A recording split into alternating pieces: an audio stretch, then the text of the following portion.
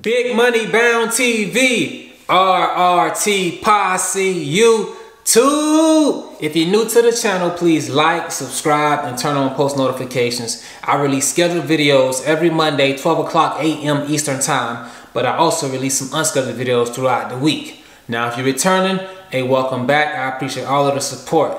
Thank you.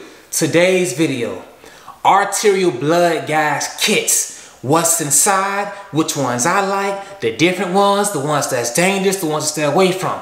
I'm gonna give you all the game on arterial blood gas kits. All you gotta do is keep watching. What we represent, man? Big money. Big money. A huge part of respiratory therapy is drawing ABGs. Everywhere you go is different hospitals that use different ABG blood gas kits. I'm gonna show you some kits that I've used and I'm gonna show you the ones that I prefer to use. Number one, the top ABG kit that I love to use is this one right here. Bam! Top ABG kit right here. Provent 466. Don't forget 466. This is my top go-to ABG blood gas kit. And over here you have the contents right there. I'm gonna show you, but it also labels everything that's in this blood gas kit for you. So, when using this blood gas kit, I already know I have my own special way of how I like to go about it. First things first, I open here. It has a pull tab. I pull from here I have everything set out by the patient's arm. So I'd open all this up. Bam. Got my needle. Blood gas needle. Actual needle, yes. This is the actual needle that you use to draw blood gas. My bag. I open this up, put this on the side. I get my bag. Open it up. Open this up, shake it, and I get this ready. And I place this at the patient's bedside. It's a bomb, that's over there. I then grab the alcohol pad. Open this up.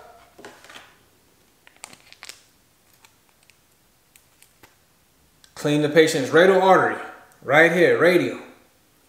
Right up in here. Yeah, this is after finding it though, so you'll clean this once you find it. I clean that. I get that. You want to scrub really hard. You want to try to see some dirt on there. But you feel me? I'm a clean, I'm a clean individual. But you want to try to scrub that hard and you see a little dirt. I then I let this dry. Before sticking a needle in someone's arm, I let this alcohol dry because that will burn. I get my band-aid ready. And open up your band-aid. I leave one side still attached and one side unattached. See that? One side attached. And I like hang it on the side of the patient's bed. For this video, I'm gonna put it just right here. I then, I will put my my cloth, which I'm going to use to stop the blood once the needle is taken out, on the patient's arm up here. So I know exactly that. Once I'm done, I take out my needle, bam, I get this and I put that there. I know exactly where it's at. Now, before I begin, I go to, I do 1.5 worth of blood. I do 1.5. I've never been told an exact number to do. I do 1.5 mLs, half of the syringe. Some people go all the way up here. They get all that, like, come on, that's too much blood to me. That's you being ridiculous. Some people go right here. Yeah, that's same, that's all the blood I need. But if there's a clot, if the blood's been sitting too long, if it doesn't take, now you got to go back and stick the patient again because this is all you have. Now, when I go right here, I know no matter what, I'm safe. I get a blood clot, I can shake it out, everything is good. You then you see this? The needle. The actual bevel of the needle has to be up. I do it up in a way I turn it while it's in here. It's been a while. So the reason I love this needle syringe is it has this guard right here. This is gonna limit the likelihood of you poking yourself when you close the needle and secure it once you're done using it. So after you draw the blood, you go in there, you find it, you draw it, bingo, you got the blood. When you close this, it's nice and simple. Bam.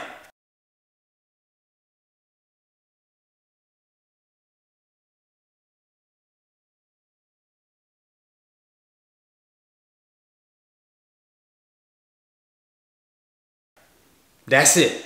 Safety first. You then will take this off. Blood is in here. You would then cap it and squeeze up a little bit until the blood hits the top of this cotton piece. Until the blood hits the top of this cotton piece right there. And then you got your bag. Bingo. You got your patient label, which is also included in the bag. Patient name, date, time, test, Allen's test, all of that. So this is why I like to use that ABG blood gas kit because it has that protective device on it. It comes with a band-aid, it comes with gauze, it comes with alcohol pads. This ABG blood gas kit has everything in it that you'll need. But every blood gas kit doesn't have that. Randy, what do you mean? I'm gonna show you more blood gas kits. Keep watching. Bam! Another blood gas kit, which is different from the one before, but it looks the same. But if you check this number up here, it's not, it's different. It has different contents inside. What's different about it? We're gonna see right now. Okay. In here, you have your needle. Only thing that's different, it doesn't come with a guard. There's no guard on here. So how are you gonna close that needle when you're done? Stay patient, my friend. Slowly but surely, grasshopper. You got a bag, same thing alcohol pad, band-aid. This is key, gotta have your band-aid. Got your gauze to collect the, have your gauze. After using this needle, once you're done using this, you stuck the patient. To then cover up this needle and protect yourself from an accidental poking situation, you have to use this. You have to place this needle in this red device. This is a hazard in itself. I got a more chance of a likelihood of poking myself doing this than I am drawing the ABG from the patient.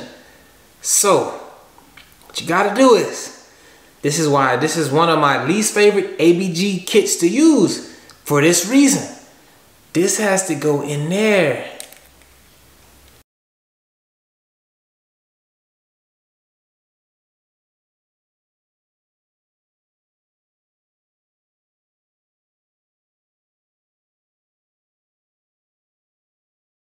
And then you have to twist this off from here, put this in a sharps container,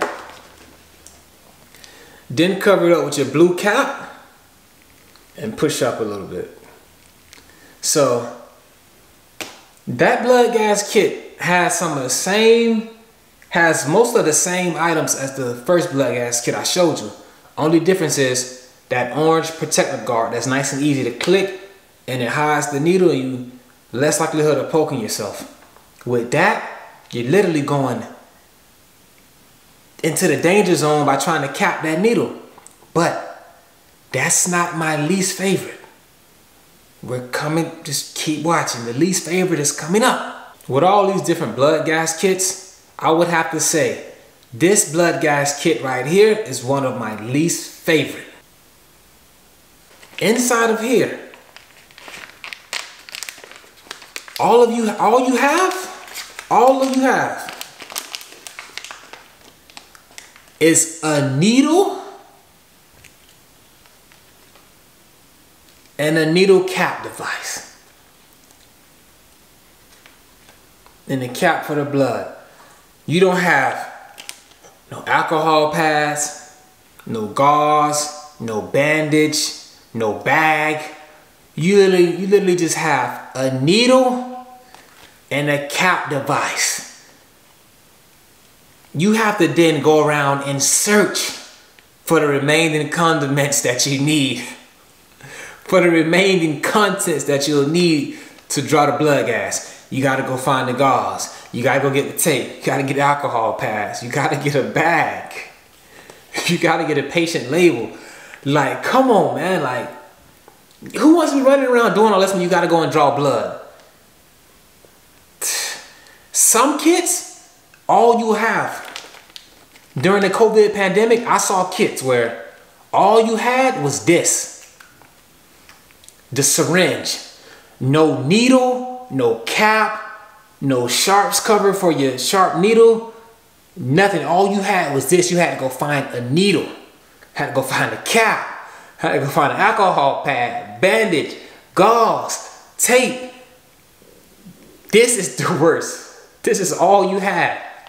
Speaking of ABG kits that only come with needles, while in Texas, while helping out during the COVID pandemic, I came across an ABG kit that I had never used ever in the state of Florida. This one right here. With this kit, all it has is the needle, syringe, and a cap device. So you gotta go find your own alcohol pad, gauze, bandage, and bag. But the unique thing is about this ABG kit was the way in which you covered your needle after using it. So here it is. First ABG kit, I, first blood gas, first needle I seen that had a BB in it. It has like a golden BB. Can you see that? I'm trying to show you, but it won't. Maybe I. You see that? It has like a golden BB in it. Yeah, you see that golden BB.